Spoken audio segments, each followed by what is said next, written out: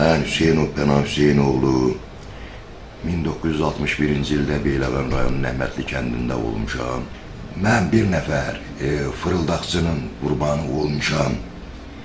Medstyle hospitalda qardaşxan Məmmədovun bu mənim əməliyyatımı 11 minə danışıb, 11 minə boynuna çəkib və e, söz veribdi ki, sənə 100% zəmanət verirəm. Bütün bunlara baxmayaraq iki dəfə üstümdə səriştəsiz əməliyyat aparıb,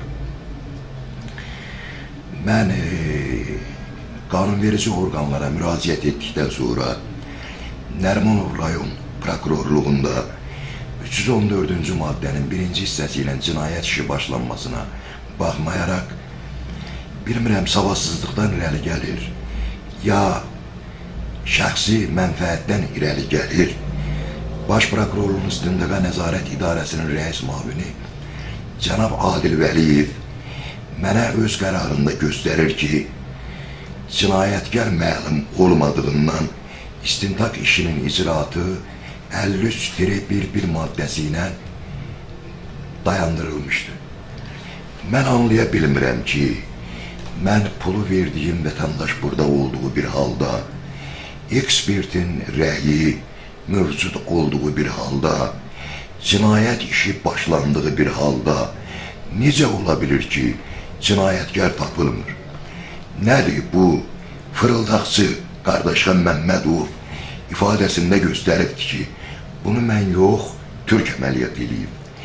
Nətər ola bilir ki, Türkü qardaşım Məmmədov bir saat müddətinə telefon zəngi ilə Bakıya gətirə bilirdi.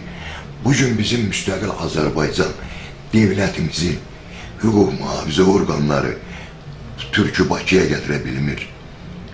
Mən anlamıram, mən bunu əminliklə deyirəm. Azərbaycan Respublikasının cənab prezidentinin, Mehriban xanımın, cənab prokuror baş prokuror Zakir Qaralovun bu ərzələrdən heç birisindən bunların xəbəri yoxdur. Sadəcə olaraq aşağı məmurlar öz başınalıq eləyərək mənim hüquq və səlahiyyətlərimi əlimdən alıblar.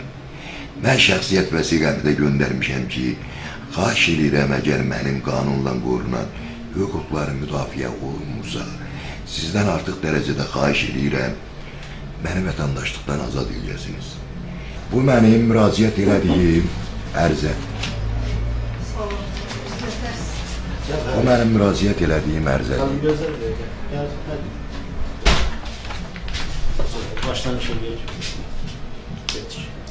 Bu mənim müraciət elədiyim ərzədir. Bu ekspertin rəyidir. E, 314-cü maddə ilə müstəntiqin qərarıdır, prokurorun qərarıdır. Qərar veribdir ki, və rəhdə də göstərilibdir ki, həqiqətən e, əməliyyat qeyri-obyektiv aparılıb. Əməliyyat düzgün aparılmayıb. Bu isə mənə baş prokurorluğun istintaqa nəzarət idarəsindən gələn ağla sığmayan cavabdır ki, istintaqın mövcud mərhələsində cinayətkar qismində tanınan şəxs müəyyən edilmədiyindən cinayət işinin icraatına 53.1 maddəsi ilə e, istintaqın icraatı dayandırılmışdır. Mən anlaya bilmirəm. Bu istintaqa daha bunlar araşdıra bilmirlər bu kimdir. Onda məni kim bu vəziyyətə salıb? Cənab prokuror. Kim məni bu vəziyyətə salıb? Mən sizdən artıq dərəcədə xahiş edirəm, ədalətli qərar qəbul edəsiniz. Bildirirəm ki, mənə səhv diaqnoz qoyub 11 min məndən qiymət danışan Mərkəzi klinikanın həkimi Niyaməddin Əliyev olub, 11 mini məndən alıb, əməliyyatı 100% boynuna çəkən qardaşxan Məmmədov olub, mən nə türk görməmişəm, nə türkə pul verməmişəm, nə də türkü mən tanımıram. Sizdən artıq dərəcədə xahiş edirəm, ədalətli olasınız. Ədalətli qərar qəbul edəsiniz. Mən elə gəlir ki, bundan sonra mən heç bir yayım, heç bir müraciət eləməyəcəm. Yaqın ki, mənim də özümə görə atacağım addımlar var. Bu əməliyyatdan sonra bütün mənim istər sinir sistemim, dava dərman yeməkdən 11 aydır mən çox pis vəziyyətdəyəm. Mən indi o ekspertin rəyində sizə təqdim eləyəcəm və həmən o fırıldaqçını da sizə təqdim eləyəcəm. Qaldırılmış cinayət işini də sizə təqdim eləyəcəm. Və prokurorun istintaq e, qa- nədir, nəzarət idarəsinin rəis müavininin Adil Vəliyevin mənə göndərdiyi cavabı da sizə təqdim eləyəcəm. Mən xahiş edirəm, Azərbaycan Respublikasında bütün hüquqşünaslardan, qanunverici orqanlardan Azərbaycan dövlətinin qanunların bu qədər gülüş günə salmaq lazım deyil. Bu nə savadsızlıq deyil. Burada ancaq şəxsi mənfəət güdürlər. Mən üçüncü dəfə əməliyyat olunmalıyam. 6 ay müalicə almalıyam. Məni yaralı vəziyyətdə ortada buraxan həkimlər haqqında hansı tədbiri görəcəksiniz? Xahiş edirəm onu mənə aydınlaşdırın. Gündə mənə bir məktub göndərməyin ki, cinayətkar tapılmadı. Məni için əməliyyat eləmişdi. Şeytan əməliyyat eləmişdi. Məni kim əməliyyat eləmişdi ki, bu tapıla bilmir. Azərbaycandan hara çıxıb bu adam? Mən həmən sənədləri də sizə təqdim eləyirəm.